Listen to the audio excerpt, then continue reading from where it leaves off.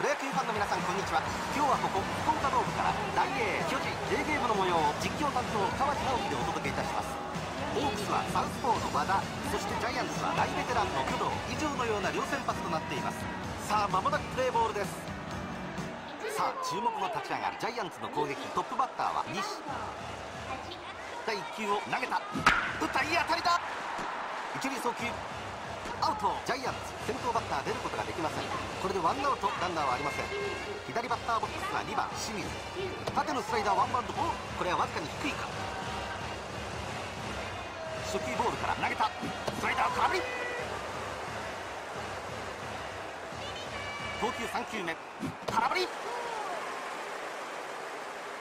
第4球を投げた。外角高め判定はボール。追い込んでから投げた。真ん中を空振り三振。右バッターボックスは3番二岡投げました。内角スライダー外れてボールワンボール。第2球を投げました。スライダー決まってストライク。